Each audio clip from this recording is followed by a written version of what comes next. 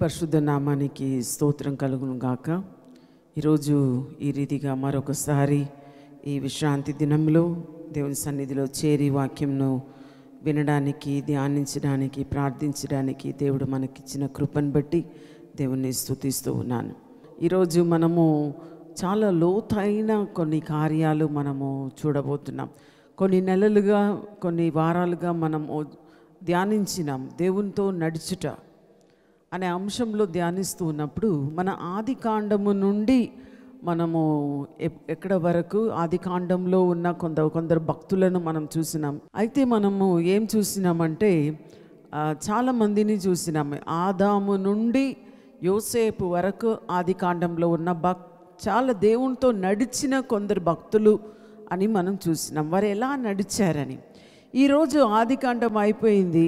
నిన్న నైట్ నేను ఇంటికి వెళ్ళినాక మీకు తెలుసు రెండో శనివారము అలసిపోతాం. నేను అనుకున్న సరే వాగ్దానమే మాట్లాడతాం. అదే అనుకున్నాను. కానీ నేను చాలా ఫ్రెష్ అయింది సాయంత్రం కొంచెం రెస్ట్ తర్వాత. తర్వాత అనుకున్నాను లేదు ఇంకొక అంశం మాట్లాడదాం ఈరోజు అని చెప్పి బైబిల్ను ధ్యానించడం ప్రారంభించాను. అప్పుడు నాకు ఎంత నచ్చిందంటే ఇప్పుడు మధ్యాహ్నం ఇప్పుడు మూడు గంటల వరకు కూడా దానిలోనే ఒకే ఒక సబ్జెక్ట్ లాస్ట్లో నేను చెప్తాను. ఇప్పుడు వరకు మీరు విని ఉండరు. అది వ- ధ్యానిస్తున్నప్పుడు చాలా ఎగ్జైటెడ్ అయింది. సో నాకు ప్రీచ్ చేయడం అంటే మీకు మీకు చెప్పడం లేదా ప్రసంగం చేయడం కన్నా నా ధ్యానం నాకు చాలా ఇంట్రెస్టింగ్గా ఉంటుంది. అదే నేను మీకు చెప్పబోతున్నాను. సరే ఒక నిమిషం ప్రార్థన చేసుకుందాం.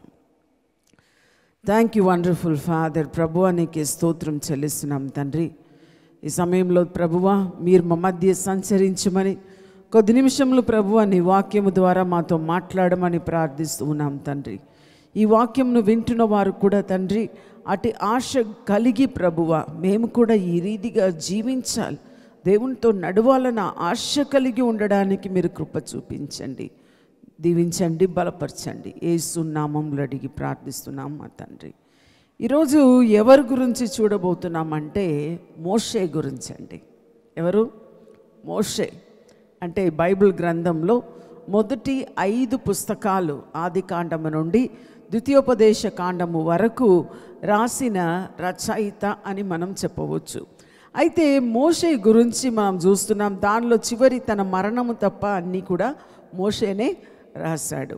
అయితే మనం ఇక్కడ చూసినట్లయితే ఆయన గురించి మనము నేను అనుకున్నాను ఎలా స్టార్ట్ చేయాలి ఈ ఐదు గ్రంథాలు?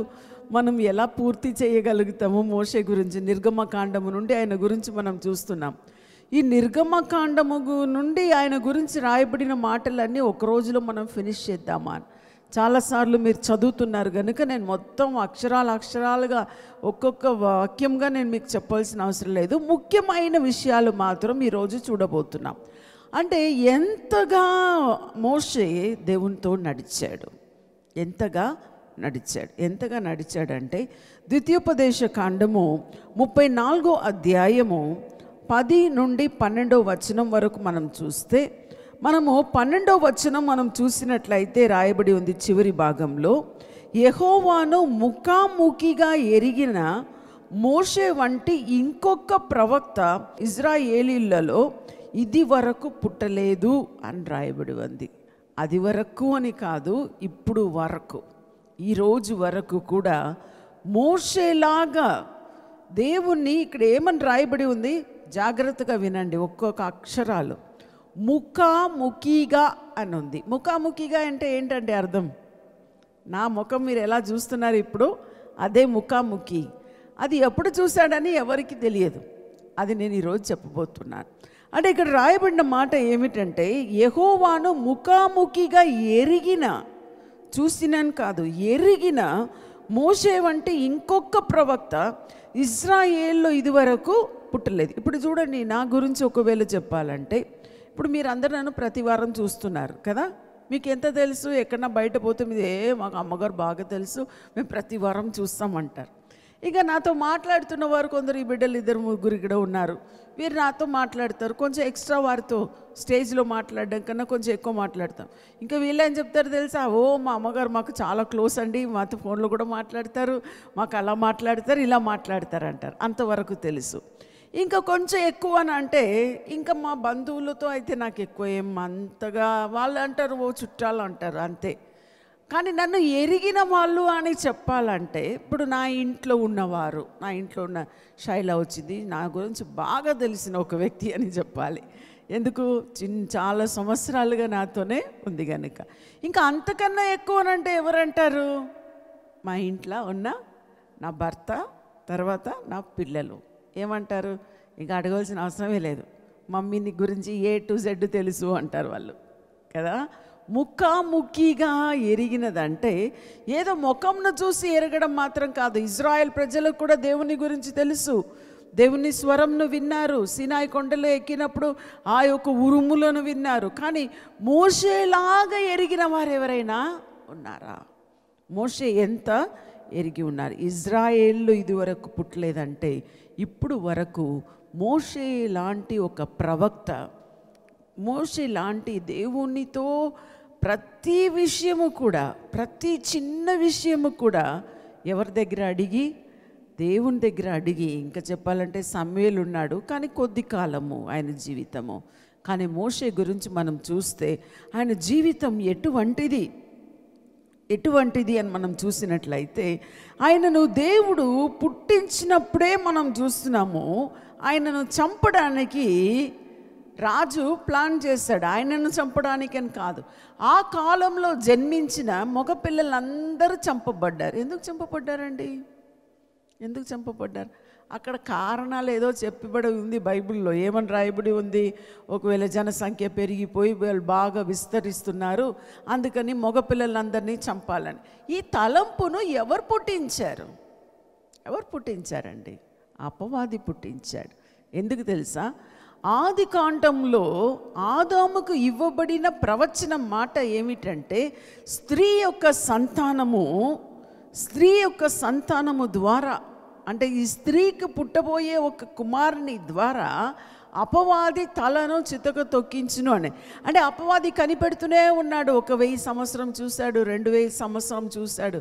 ఇంకా ఆ టైం అనుకున్నాడు ఈ టైమే మోసే మోసే ఓని రక్షకుడు ఒక రక్షకుడు పుట్టబోతున్నాడన్న ప్రవచనము ఎక్కడ రాయబడి ఉందంటే బైబిల్ గ్రంథంలో రాయబడి ఉంది. ఎటువంటి రక్షకుడు? ఈ ప్రజలను విడిపించే ఒక రక్షకుడు. అంటే ఆ కాలము నాలుగు వందల ముప్పై సంవత్సరము. అనే కాలంను ఎవరు గుర్తించారు తెలుసా? అపవాది గుర్తించాడు. అందుకే ఈ ఆలోచనను ఫారోకు పుట్టించి ఇప్పుడు ఈ పిల్లలను చంపాలని అనేది ఎవరు ఆలోచన అంటే మోషేను చంపడానికి లేదా ప్రవక్తను చంపడానికి లేదా రక్షకుడిని చంపడానికి. ఆయన అన్నాడు యేసుక్రీస్తు అని అనుకున్నాడు దేవుని కుమారుడని అనుకున్నాడు. కానీ అపవాదికి తెలియదు ఇది మోషే అని తెలియదు. కానీ ఆ టైంలో ఆ యొక్క మరణం నుండి కూడా ఎవరు రక్షించాడండి? దేవుడే రక్షించాడు. దేవుడు చూడండి దేవుడు ఒక కుటుంబము మనకు ఇప్పుడు నేను కుటుంబం గురించి ఒక రెండు మాట చెప్పబోతున్నాను. దేవుడు ఒక్కొక్కరిని ఒక కుటుంబంలో ఉంచాడంటే అది దేవుని ప్రణాళిక అండి. దేవుని ప్రణాళిక. ఎవరు ఇప్పుడు మా కుటుంబంలో మేము ఐదుగురు ఉన్నాం. మా ఐదుగురు ఎలా అంటే ఐదుగురు బ్యాలెన్స్డ్ అండి.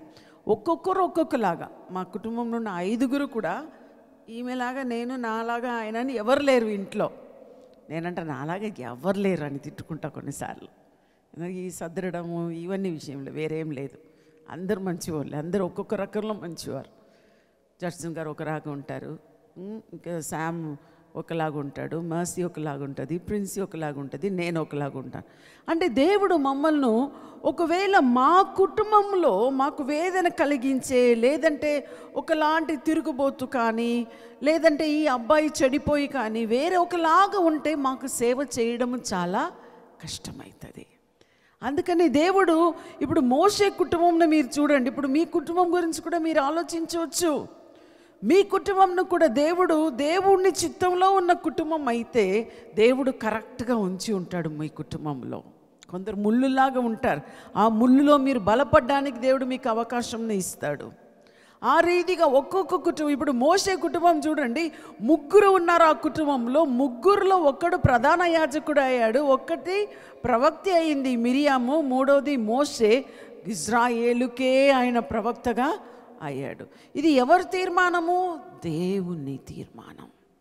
దేవుని తీర్మానం. ఇప్పుడు మీ కుటుంబం గురించి ఆలోచించి ఒక్కసారి చప్పట్లు కొట్టుకోండి. మీకు మీరే. నా కుటుంబం మంచి కుటుంబం. చప్పట్లు కొట్టండి. లేకపోయినా చప్పట్లు కొట్టండి. దేవుడు మారుస్తాడు మీ కుటుంబాలను. మీ ప్రార్థన మనుషులను మారుస్తుంది. తప్పకుండా మారుతారు. ఎవరైనా మారవలసిన అవసరం ఉంటే. ఇక్కడ మనం చూస్తున్నాము మోషే జీవితంను మనం చూసినట్లయితే మోషే ఏం చేస్తున్నాడు? అద్భుతమైన రీతిగా దేవుడు ఆ కుటుంబంలో ఉంచాడు గనుక ఆ సహోదరికి దేవుడు ధైర్యం ఇచ్చాడు. ఇదిగో పోయి నాకు సహోదరుని రక్షించుకోవాలి. తల్లికి లేని ఒక ధైర్యము సహోదరికి మిరియాముకు దేవుడు ఇచ్చాడు.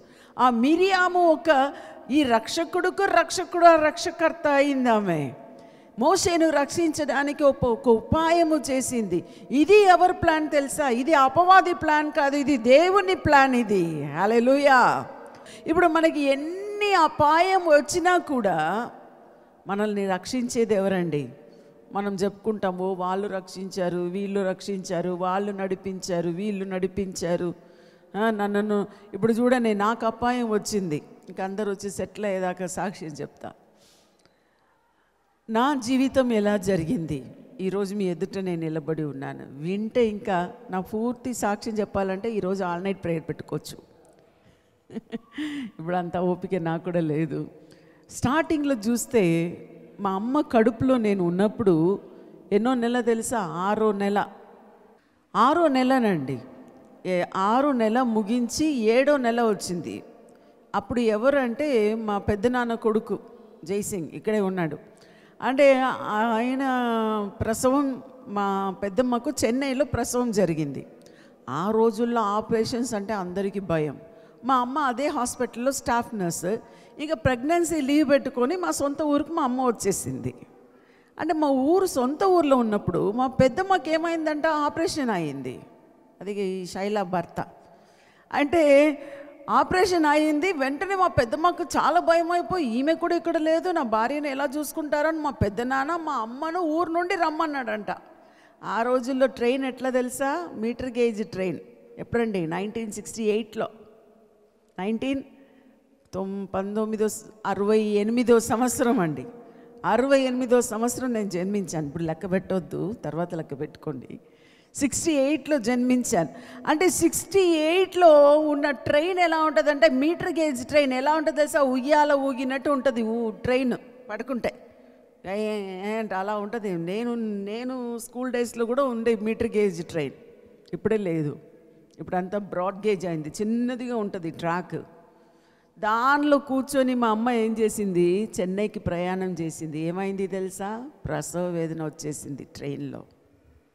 ట్రైన్లో ఎన్నో నెల ఏడో నెల స్టార్టింగ్ ఇంకా ప్రసవ వేదన వస్తే ఎక్కడో ఒక స్టేషన్లో ఆగితే ఆ స్టేషన్లో దిగిపోయి హాస్పిటల్కి ట్రంకాల్ బుకింగ్ చేసి మా అమ్మ గురించి చెప్తే వాళ్ళు ఏం చేశారు? వాళ్ళు ఈమె అక్కడ మెయిన్ స్టాఫ్ నర్స్ ఆ హాస్పిటల్లో.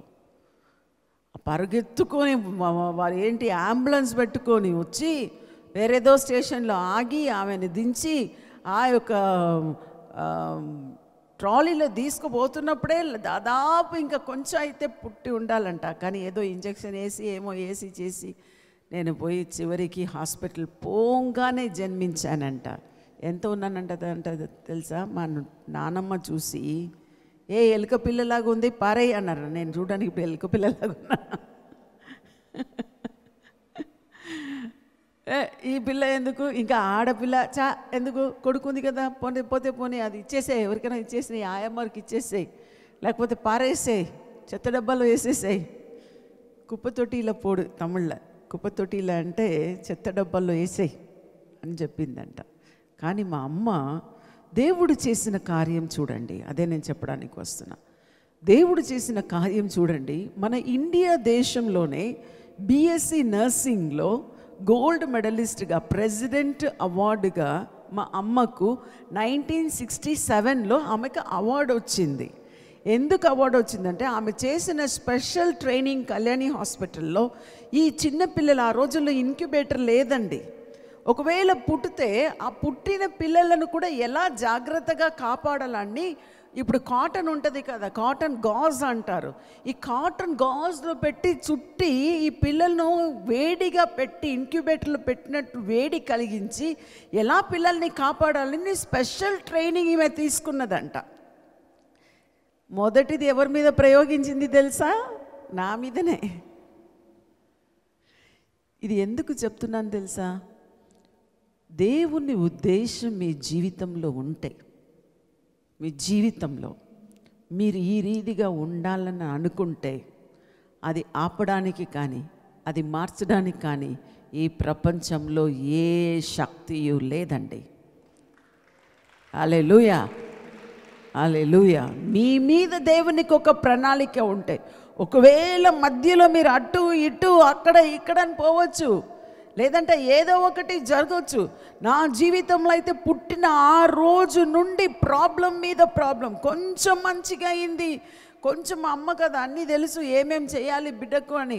అలా చేసి ముద్దు ముద్దు ముద్దుగా మంచిగా అయిపోయి ఐదో నెల వచ్చినప్పుడు చూసే వాళ్ళందరూ ఎత్తుకొని పోయేదంట నన్ను. ఓ ఈ బేబీ తెల్లోళ్ళ బేబీ లాగా ఉంది అని చెప్పి ఎత్తుకొని పోయేవారంట. అట్లా అనుకునే టైంలో ఐదో నెలలో ఒక పెద్ద అదేం చెప్పాలండి బ్లడ్ క్యాపిలరీ హెమింజియోమా అంటారండి కడుపులో వచ్చింది. అది ఎలా అంటే చిన్న చెమటకాయలాగా వచ్చిన ఒక చిన్న కురుపు రోజు రోజుకు అది పెద్దదై పెద్దదై పెద్దదై ఈ ఆ, గోలీ ఆడతారు కదా పెద్ద గోలీ ఆ గోలీలాగా అయిపోయిందంట. ఇంకా డాక్టర్స్ చేయి విడిచిపెట్టేశారు ఇండియా డాక్టర్స్. ఇంకా అంతే అయిపోయింది. బ్రతకడం కష్టం. అది ముట్టుకుంటే ఇంకా ప్రాణం పోతుంది బ్లడ్ అంతా పోతుంది. అది ఆపగలిగే అంత మనకు సదుపాయం లేదు హాస్పిటల్లో అని చెప్పేసి చెన్నైలోనే పెద్ద హాస్పిటల్. ఆ టైంలో చూసి ఏం జరిగిందంటే చూడండి దేవుని ప్రణాళికను చూడండి. ఆ టైంలో అమెరికా నుండి ఐదు డాక్టర్స్ మా అమ్మ ఉన్న ఆ హాస్పిటల్ మెడికల్ హాస్పిటల్ అండి. మెడికల్ హాస్పిటల్ అంటే నర్సెస్కు ట్రైనింగ్ ఇచ్చే డాక్టర్స్కు ట్రైనింగ్ ఇచ్చే పెద్ద హాస్పిటల్ అది. అంటే ఆ హాస్పిటల్లో రౌండ్స్ కానీ ఏదో కోర్స్ చేయడానికి టీచ్ చేయడానికని అమెరికా నుండి వచ్చారంట ఆ రోజుల్లో. ఇంకా వాళ్ళు అలా హాస్పిటల్ తిరుగుతూ ఉన్నప్పుడు మా అమ్మనే వారితో నడవాలి మంచి ఇంగ్లీష్ మాట్లాడుతుంది మా అమ్మ ఆ రోజుల్లోనే. ఎందుకంటే వాళ్ళ మా తాతయ్య లండన్లో చదివాడు.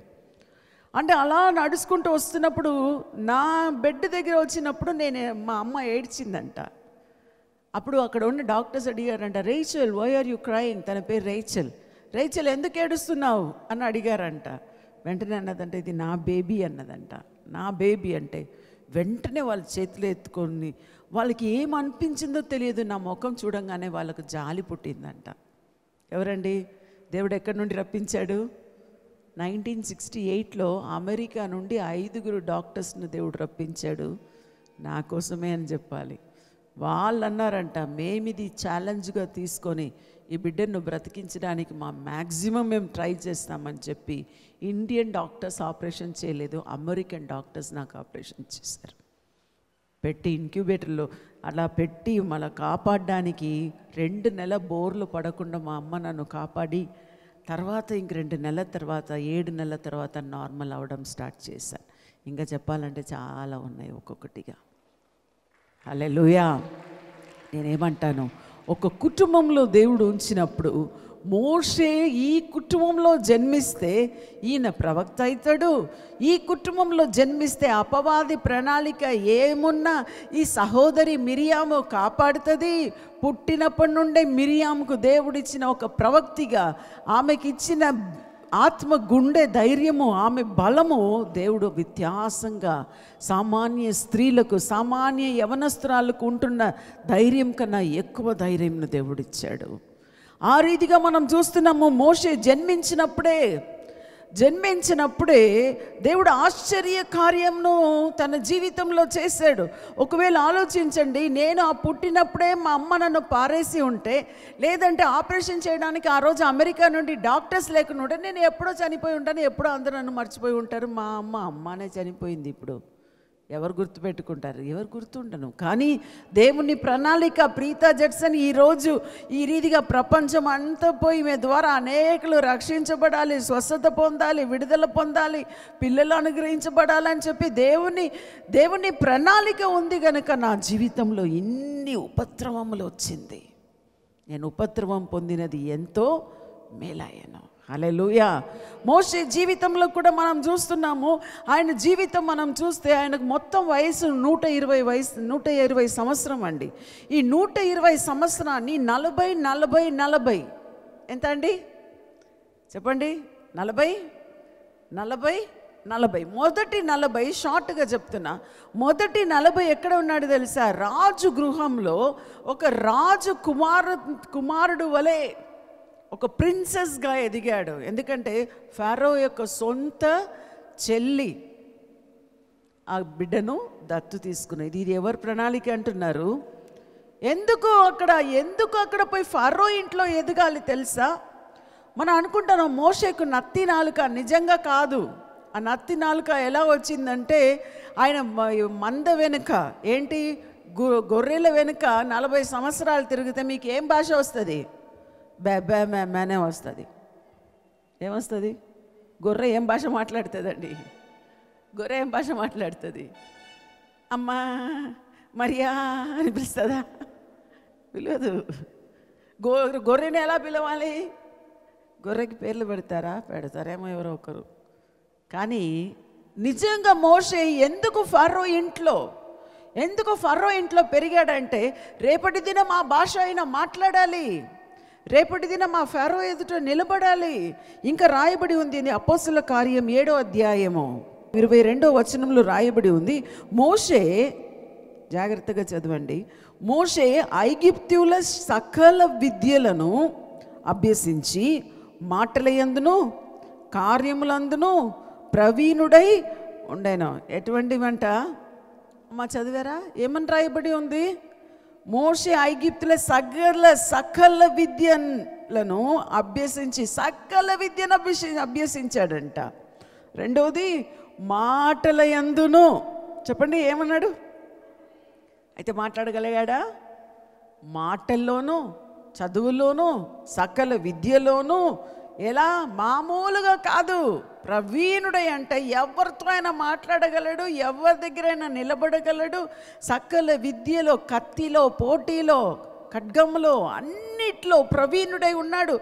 ఎప్పుడు అలా అయినప్పుడు ఇప్పుడు నా వైపు చూడండి. మోసే ఏమనుకున్నాడు ఒకరోజు? తెలిసిపోయింది. ఈయన కూడా ఒక ఐగిప్తుడు కాదు ఈయన హెబ్రియుడు అని తెలిసినప్పుడు ఆయన అనుకుంటున్నాడు నాకు నా యొక్క కుటుంబాన్ని నేను రక్షించుకుంటానని చెప్పి ఆయనే ముందుకు వెళ్తున్నాడు.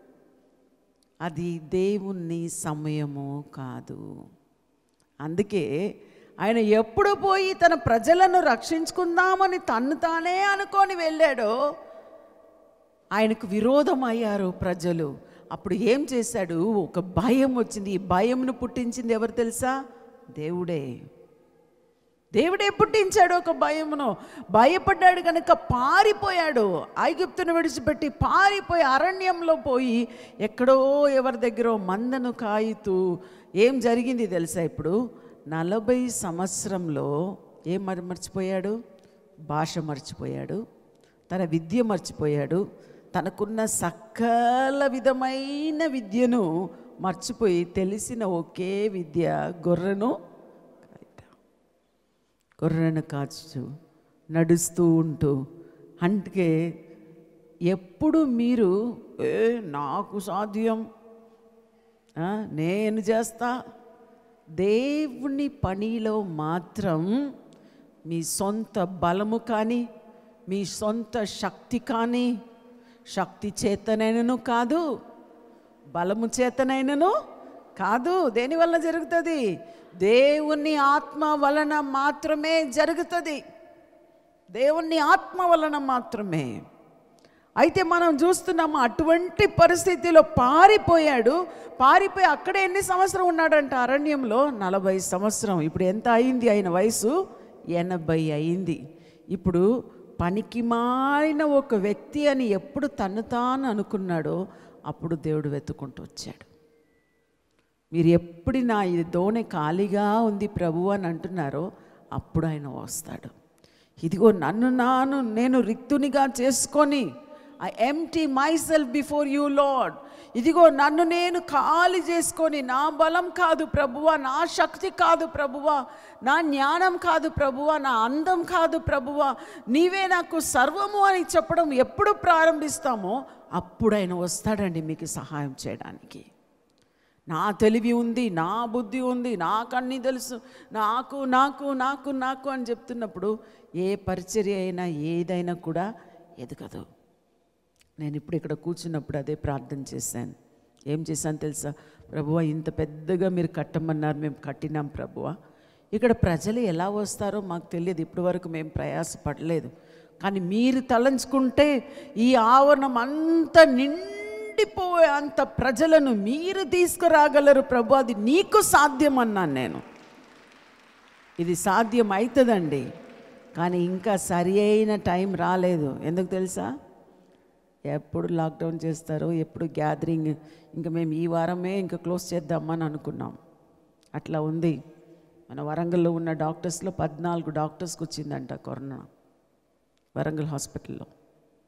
అట్లాంటి పరిస్థితిలో మనం ఉన్నాం. అందుకని దేవునికి అని టైం ఉందని అని ఓపికతో మేము ఉన్నాం. ఇక్కడ మనం చూస్తున్న నలభై నలభై ఎనభై సంవత్సరాలు అయిపోయింది. ఇప్పుడు దేవుడు పిలుస్తున్నాడు నా పనికి ఆయన అంటున్నాడు నాకు కాదు ప్రభువా నేను కాదు ప్రభువా నాకు మాట రాదు ప్రభువా.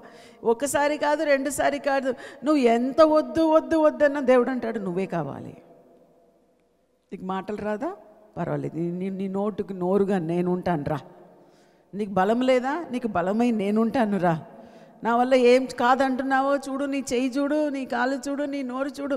ఒక్కొక్కటి ఆయన అవయవాన్నే దేవుడు చూపించి ఇదిగో ఈ చేతుల ద్వారానే నీ అద్భుతం చేస్తావు. ఇదిగో ఈ గొర్రెను కాయిచున్న ఈ ఒక కర్ర ఉంది చూ కదా ఇన్ని రోజు అది కర్రనే. ఇప్పుడు నేను ఆ కర్రను మరల నీ చేతికి ఇస్తున్నాను ఆ కర్ర ద్వారా నేను అద్భుతం చేస్తావు. ఏం గొర్రె ఏం కర్ర అండి? అదేం తుపాకీ కాదు అది ఏకే ఫార్టీ సెవెన్ కాదు. బుల్లెట్ కాదు. దేవుడు ఇచ్చింది సామాన్య ఒక కాపరి చేతిలో ఉంటున్న కర్ర. ఇది తీసుకొని వెళ్ళు. అది తీసుకొని పోయి ఆయన అన్ని అద్భుత కార్యాలు చివరి వరకు చేశాడు అని మనం చూస్తున్నాం. అయితే ఒక య- నలభై సంవత్సరం సేవకు ఎన్ని సంవత్సరం మోషేను దేవుడు సిద్ధపరిచాడు? ఎనభై సంవత్సరాలు సిద్ధపరిచాడు. ఎనభై సంవత్సరాలు. మన జీవితంలో కూడా కొన్నిసార్లు మనకు ఓపికనే ఉండదు. ఇప్పుడే జరగాలి ఇప్పుడే కావాలి ఇప్పుడే దేవునికనే అన్నిటికీ ఉన్న ఒక సమయము ఉంది. ఇంకా మనం చూస్తున్నాము రెండవదిగా ఆయన గురించి దేవుడు ఏం చెప్తున్నాడు?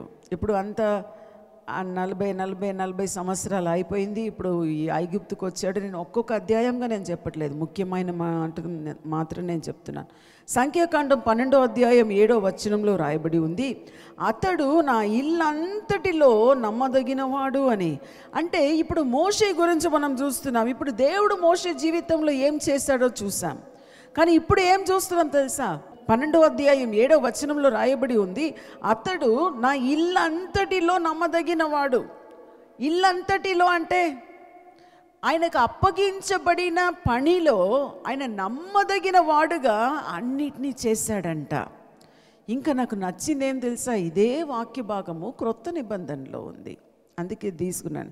హెబ్రేలకు రాసిన పత్రిక మూడో అధ్యాయము రెండు ఐదు వచనంలో మనం చూసినట్లయితే దేవుడు ఇల్లంతటిలో మోసే నమ్మకముగా ఉండినట్లు ఈయన కూడా తను నియమించిన వానికి నమ్మకముగా ఉండెను.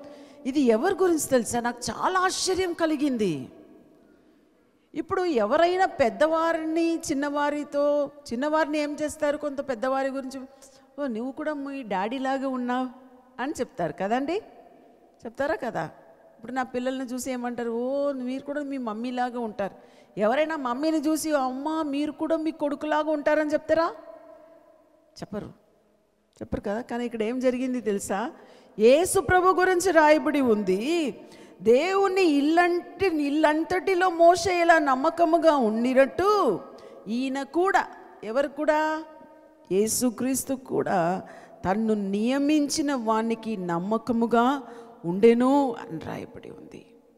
హలెలుయా అయితే మనం చూస్తున్నాము ఇక్కడ మనం చూస్తున్నాము ఇంకా చూస్తున్నాము ఈయన మోషే కంటే ఎక్కువగా ఇది క్రీస్తు గురించి నాలుగో వచనంలో ఈయన మోషే కంటే ఎక్కువగా మహిమకు అర్హుడుగా ఎంచబడేను తర్వాత రాయబడి ఉంది. మోషే కన్నా ఎక్కువగా మోషేకి సమానంగా కాదు మోషే కన్నా ఎక్కువగా ఆయన మహిమ మహిమకు అర్హుడుగా ఎంచబడేను అని రాయబడి ఉంది నాలుగో వచనంలో. మూడు రెండు మూడు నాలుగు వచనంలో యేసు గురించును మోషే గురించును రాయబడి ఉంది. తన ఇల్లంతటి కూడా. అంటే ఇప్పుడు నేనేమనుకుంటున్నా అంటే యేసు ప్రభు ఏ రీతిగా ఏ రీతిగా నీతి నీతితో నిజాయితీతో నిష్కలంకముగా ఏ దోషము లేకుండా ఏసయ్య జీవించాడో ఆ రీతిగానే మోస సెల్ఫ్లెస్ లైఫ్ అని చెప్పాలి. సెల్ఫ్లెస్ అనే తనకని ఏమీ మోసే కోరుకోలేదు. తనకని ఏదో కావాలని నేను అనుకోలేదు. తనక్కనే ఆయన ఏం సంపాదించలేదు తనకని జీవించలేదు. ప్రజల కోసం ప్రజల కోసం ఎప్పుడు దేవుని సన్నిధిలో సాగిలపడుతూ అటువంటి ఒక జీవితం మనకుంటే ఎంత బాగుండు కదా. నిన్న రైట్ నైట్ నేను ఈ యొక్క మెసేజ్ దాదాపు మూడున్నర నాలుగు గంటల సేపు కూర్చున్నానండి. ధ్యానిస్తూ ధ్యానిస్తూ ఈరోజు ఉదయం కూడా కూర్చున్నాను. నాకు చాలా నచ్చినప్పుడు నేను అనుకున్నాను అబ్బా అటువంటి ఒక జీవితం మనకుంటే ఎంత బాగుంటుంది. నిస్వార్థమైన ఒక జీవితం. ఇక్కడ చూస్తున్నాము. ఇది ఒక రెండవది మూడవదిగా ఆయన క్యారెక్టర్ ఆయన స్వభావము గురించి రాయబడి ఉంది. సంఖ్యాకాండం పన్నెండవ అధ్యాయము మూడవ మూడో వచనంలో రాయబడి ఉంది. మోషే భూమి మీదనున్న వారందరిలో మిక్కిలి సాత్వికుడు. ఈ సాత్వికం ఎలా వచ్చింది మోషేకు? ఒకరోజు ఏం చేశాడు? నా వైపు చూడండి. ఏం చేశాడు ఒకరోజు? కోపం వచ్చినప్పుడు ఒకరిని చంపేశాడు కదా? మోసే ఒక్కనే చంపాడు. ఎప్పుడు చంపాడు? ఫారో ఇంట్లో ఉన్నప్పుడు. కానీ ఎప్పుడు అరణ్యమునకు వెళ్ళిపోయాడో ఎప్పుడు గొర్రెల వెనుక నలభై సంవత్సరం తిరిగాడో ఏం పోయింది? కోపం పోయింది. ఆ స్వభావం ఆ గొర్రె పిల్ల యొక్క స్వభావము ఆయనకు వచ్చింది కోపము లేని ఒకే ఒక్కసారి మాత్రం మోసే కోప్పడినట్టు మనం చూస్తున్నాం. అది ఆయనకు ప్రమాదం అయిపోయిందండి ఆ బండతో మాట్లాడమని చెప్పినప్పుడు కోపముతో కర్రతో కొట్టాడు. అదే ఆయనకు వచ్చిన కోపం వచ్చిన సందర్భము. అది ఆయనకు పెద్ద వెల చెల్లించవలసిన అవసరం ప- పరిస్థితి వచ్చింది. మిక్కిలి సాత్వికుడు నేను నిన్న కూర్చున్నప్పుడు దిగి రాసుకున్నాను. జోక్క పక్కన బుక్లో రాసుకున్నాను. ఏమని రాసుకున్నాను తెలుసా? నేను మాత్రం మోసే స్థానంలో ఉంటే నాకు బీపీ ఎక్కి తల బద్దలైపోయి ఉంటుంది. మీకు నవ్వు రావట్లేదా?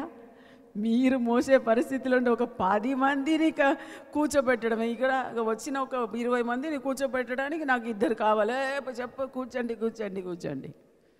ఇంకా కొన్ని వేలు కొన్ని లక్షలు నలభై యాభై డెబ్బై లక్షలు మంది వీళ్ళందరూ మందను కాయిచ్చినట్టు కాస్తూ ఇంక కోపము రాకుండా ఉండాలంటే అమ్మ గ్రేట్. మామూలు గ్రేట్ కాదు. హ్యాట్స్ ఆఫ్ టు మోసే గారు. పరలోకం పోయినప్పుడు తప్పకుండా నేను మాట్లాడాలి. హల్లెలూయా.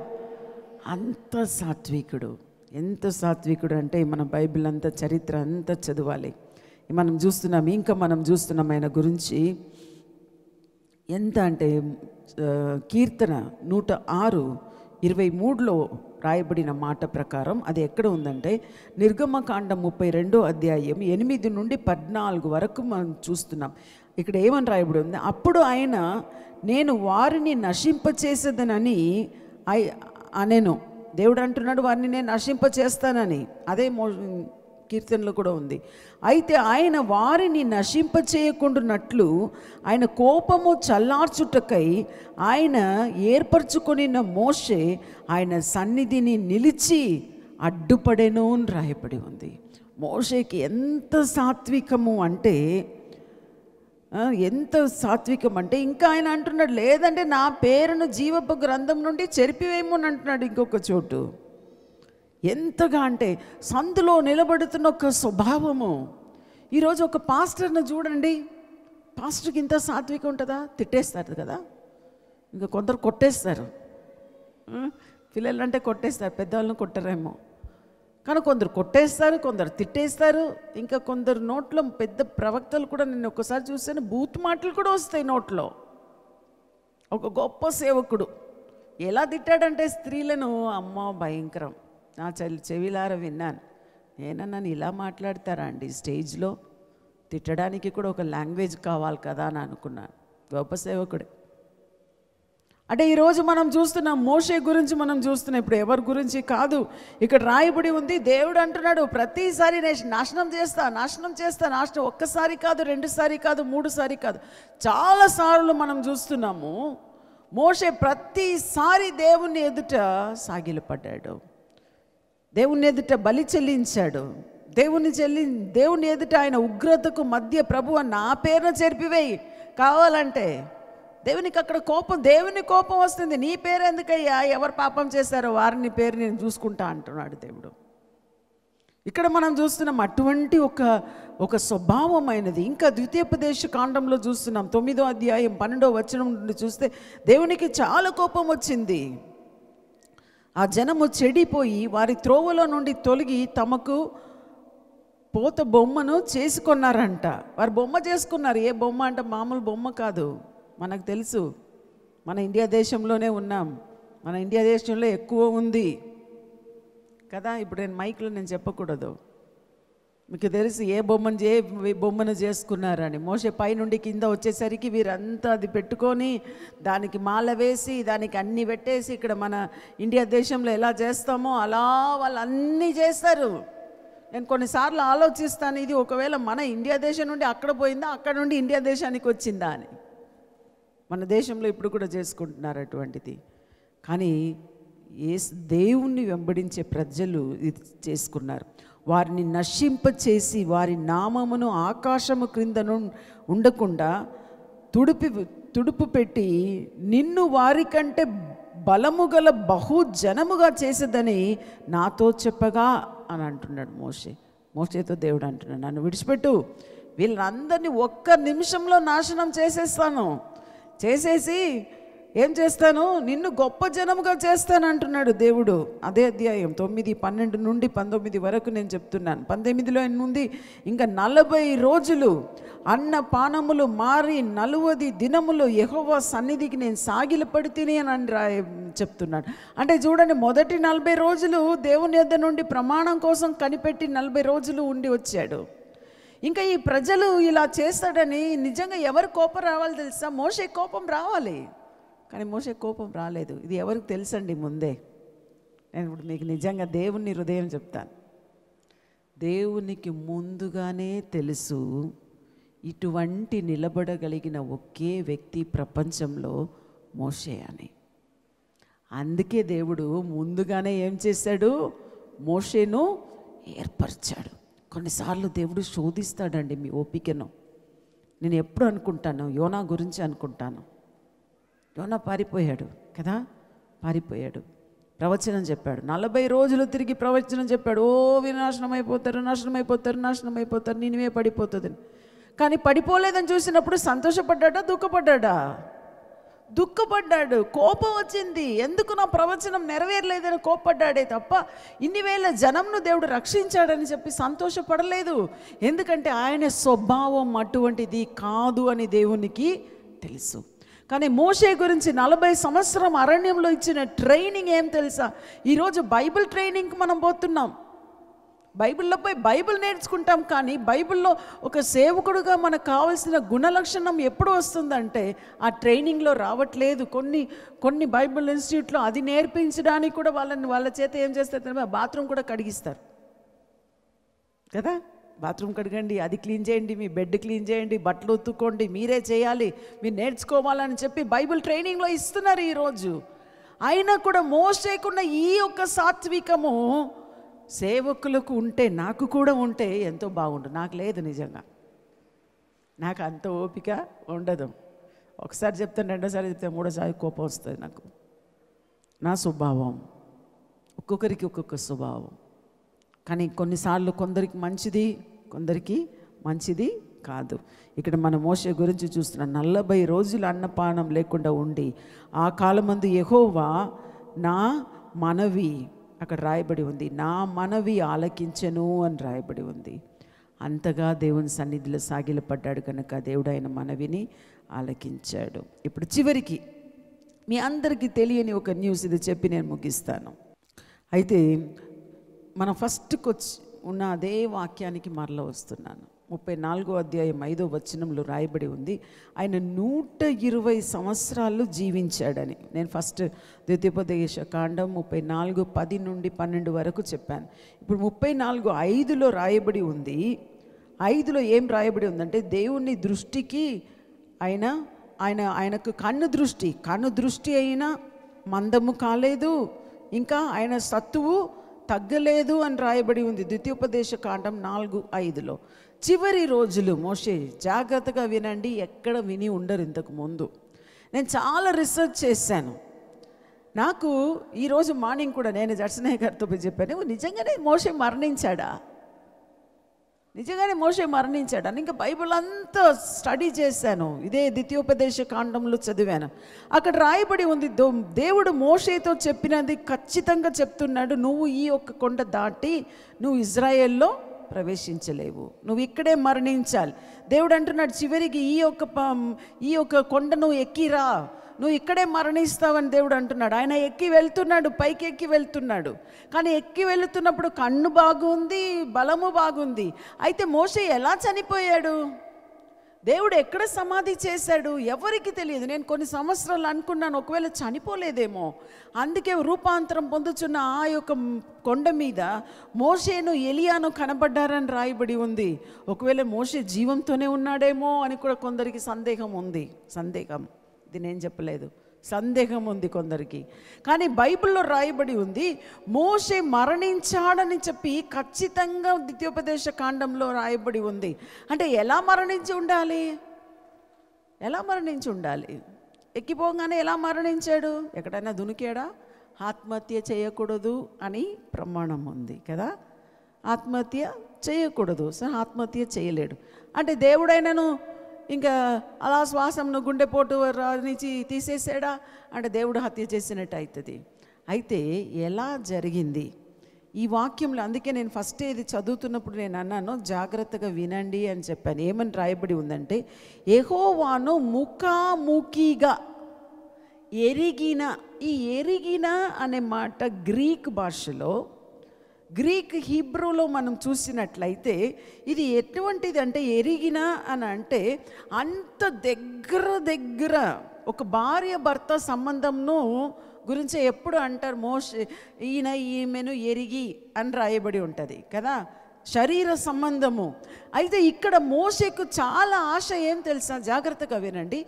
దేవుని ముఖమును చూడాలని మోషకు ఎప్పుడు ఆశ ఉండే. కానీ ఆయన ఆశ నెరవేరలేదు. అయితే దేవుడు మోషేతో అంటున్నాడు నువ్వు నన్ను చూస్తే చూసినట్లయితే నువ్వేమైపోతావు? నువ్వు చచ్చిపోతావు అంటున్నాడు దేవుడు. ఇప్పుడు ఏం జరిగిందంటే ఏం జరిగిందంటే జాగ్రత్తగా వినండి. మోషే కొండ ఎక్కిపోయినప్పుడు దేవుడు మోషేకు ముఖాముఖిగా కనబడ్డాడంట. ఏ మానవునికి కనబడని దేవుడు ఒకవేళ మీరు చెప్పవచ్చు యాకోబు యాకోబుకు కనబడినది రూపాంతరం పొందిన దేవుని రూపమైన ఒక దూత కావచ్చు. అబ్రహామును వచ్చి సంధి కలిసిన మెల్కిసదేక మెల్కిసదేక రూపంలో మానవ రూపంలో వచ్చి వేరే రూపము ధరించి వచ్చాడు. కానీ నిజమైన దేవుని ముఖంను చూసిన వారు ఎవ్వరు లేదు ఇప్పుడు వరకు కూడా. ఏసయ్యను చూడవచ్చు ఏసయ్యను చూడవచ్చు కానీ గాడ్ ద ఫాదర్ని ఆయన మొక్క రూపంను మోసే కూడా మనం చూస్తున్నాం. ఇదిగో నా చేయితో నేను నిన్ను కప్పెదను. కప్పి ఆయన దాటి వెళ్ళిన తర్వాత మనం చూస్తున్నాము ఆయన వెనుక భాగంను దేవుని వెనుక భాగంను చూశాడు నిర్గమకాండంలో కానీ ఇక్కడ ఏం జరిగింది? కొండ పైకి ఎక్కి వెళ్ళినప్పుడు అలా దేవుని ముఖంను చూస్తూనే అలా మోసే ప్రాణంను విడిచి ఉంటాడు. అలెలుయా ఇది ఏదో నేను ఊహించి చెప్పలేదండి. చాలా స్టడీ చేసి ఈరోజు ఉదయం కనీసం దీని గురించి ఒక గంట గంటన్నర సేపు స్టడీ చేశాను. గ్రీక్ హీబ్రూ ఇంకా అనేక శాస్త్రులు ఏమేమి చెప్తున్నారంటే ఒకే chance of dying is seeing the face of God ముఖాముఖిగా మోస ఎరిగినట్టు వేరు ఎవ్వరు కూడా దేవుని ఎరిగి ఉండలేదని. అంటే ఆ ఎరిగి అన్న పదమును గ్రీక్లో ఉన్న పదమును వారు ట్రాన్స్లేట్ చేస్తూ ఏం చెప్తున్నారంటే నిజమైన దేవుని ముఖంను చూసి చనిపోయాడు అని. అదే దానికి అర్థం అంట నిర్గమకాండం ముప్పై నాలుగు పది నుండి పన్నెండు వరకు. అయితే మోష ఎటువంటి వాడండి? నేను ముగించాను. మోష ఎటువంటి వాడు? ఖచ్చితంగా ముఖాముఖిగా దేవుణ్ణి ముఖాముఖిగా చూసిన మోషే వంటి వాడు ఈ ప్రపంచంలో ఇప్పుడు వరకు ఎవరు పుట్టలేదు. అలా చూస్తే మరణించాలి. ఏసయ్యను చూడొచ్చు కానీ తండ్రి అయిన దేవుని రూపంను మనం ఎప్పుడు చూస్తామంటే రెండవ రాకడ తర్వాత ఆ తెల్ల సింహాసనం తెరిచిన తర్వాత ఆయన ఎదుట నిలబడినప్పుడు నీతిమంతులుగా ఆయనను మనము దర్శించగలము. హాలెలుయా హాలెలుయా లేచి నిలబడదాం ప్రార్థన చేద్దాం. ప్రభువా నీతో నేను జీవించటయే నా జీవిత వాంఛ. నీ చిత్తం నెరవేర్చుటయే నా హృదయ తప్పనయ్యా మోషే జీవించినట్లు యోసేపు జీవించినట్లు ఆ దాము నీతో నడిచినట్లు ఏ రీతిగా యాకోబు నడిపి నడిపించినట్లు ఈ సాకు నడిచినట్లు ఇవన్నీ మేము విన్నాము ప్రభువా. నేను కూడా నడవడానికి నేను కూడా నీతో నడవడానికి తండ్రి నీ యొక్క పుస్తకములో నా పేరు లిఖించబడడానికి మోషే వలె నడిచినావు. ఇదిగో నువ్వు యోసేపు వలె నడిచినావు. నువ్వు యాకోబు వలె నడిచినావు. లేదా నా పేర్లు రాయబడాలి ప్రీతావలే అని చెప్పి. ప్రీతావలే కొందరు నడిచారని చెప్పాలి. అటువంటి ఒక జీవితము మాకు దేవుడు దయచేయడానికి ఇంకా ఇంకా రోజులు దగ్గర పడుతున్నప్పుడు ఇంకా అధికముగా దేవునితో నడవడానికి మనం వాంఛించుదాం. మనం కోరుకుందాం. మనం ఆశపడదాం. మనం మారీదిగా నడుద్దాం. అప్పుడు దేవుని దృష్టిలో దేవుడు అంటాడు నువ్వు అందరికంటే నాకు ఇష్టమైన ఒక వ్యక్తి అని. మీ హృదయ వాంఛ అంతా అడగకుండానే ఆయన చేస్తాడు. మీరేమి అడగకుండానే మీకు ఏం కావాలో మిమ్మల్ని వెతుక్కుంటూ వస్తుంది. Thank you Jesus thank you father చిన్న విషయమైనా కూడా ఆయనకు మీ హృదయం తెలుసండి. చిన్న విషయమైనా కూడా మీ కోరిక న్యాయమైనదైతే ఆయన తప్పకుండా నెరవేరుస్తాడు. తప్పకుండా నెరవేరుస్తాడు. Thank you Jesus thank you Jesus చప్పళ్ళు కొట్టి వేసి అని మహింపరుద్దాం. ప్రభు నాకు అటువంటి ఒక జీవితం కావాలి. I want such a life Lord I want such a life in my heart master in my life Lord Jesus thank you master నీకే స్తోత్రం నీ దీవించండి ప్రభువ ఎవరో నేను చెప్పకుండానే మీ కుడి కాల్లో మీ మోకాళ్ళ కింద భాగంలో మీరు స్వస్థతను పొందారు ఇప్పుడు. ఇంకా కూర్చుంటున్న భాగంలో కూడా మీకు బాగా అవస్థతో ఎవరో వచ్చారు. ఏదో సమస్య మీకు ఉంది పైల్స్ లాంటి ఒక వ్యాధి మీకు ఉంది. దేవుడు మిమ్మల్ని ముట్టి స్వస్థపరుస్తున్నాడు ఈ సమయంలో. థ్యాంక్ యూ ఫర్ హీలింగ్ సమ్వన్లో ఎవరినో మెట్టి ముట్టి మీరు స్వస్థపరిచారు. అందరిని బట్టి నీకు స్తోత్రం ప్రభువ. నీకే స్తోత్రము తండ్రి. ప్రతి ఒక్కరి మీద దేవుని ప్రభావం నేను అనుభవిస్తూ ఉన్నాను. దేవుని బలమైన సన్నిధి అనుభవిస్తూ ఉన్నాను. మీ మీదికి వస్తుంది ఆ సన్నిధి. మీ మీదికి వస్తుంది. కోరుకోండి. మీకు ఏం కావాలో కోరుకోండి. దేవుడు అది చేస్తాడు ఈ సమయంలో. Thank you father thank you Jesus నీకే స్థుతులు ఘనత మహిమను చెల్లిస్తున్నాము తండ్రి. ఏ సున్నామంలో అడిగి ప్రార్థిస్తున్నాము మా తండ్రి. ఆమెన్